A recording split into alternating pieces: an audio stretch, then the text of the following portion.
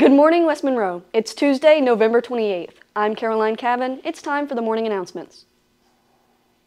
Senior baby ads are due this Saturday, so seniors, be sure your families remember this deadline and get things submitted in online school payments this week if you want a baby ad in the yearbook.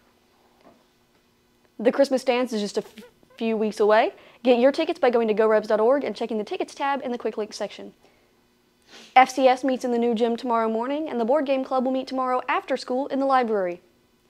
Key Clubbers, the Christmas parade is this weekend. Permission slips are outside of room 3103, and if you're riding in the float, Miss Pickering needs slips returned by Friday. Please check Google Classroom for ways you can participate. Don't forget the canned food drive sponsored by Student Council has been extended a few weeks. Keep bringing those cans. It's a great gift to give this holiday season.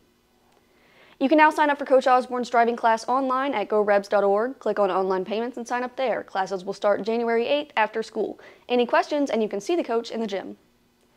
If any of you seniors are patients at Koga Orthodontists, you can pick up a scholarship application at their Monroe office. The deadline to apply is March 1st, 2024, and the scholarship award amount is $1,000. Students and teachers, don't forget that progress reports are going home today. Those are due back signed by a parent by Thursday. Boys powerlifting will have a one-day tryout today right after school in the football weight room. Tryout should be done before 5. Track and field's interest meeting is after school upstairs in the field house. Tonight, both the boys and girls basketball teams will travel to Benton. Good luck to both those teams. Come out and cheer them on.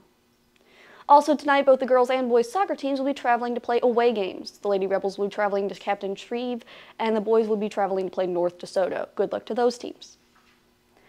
Thursday, you can catch the boys basketball team and the boys soccer team in games at home. The basketball team plays El Dorado at 5, and the soccer team plays Ruston at 5.30. That's all we have for today. Have a great day, Rebels.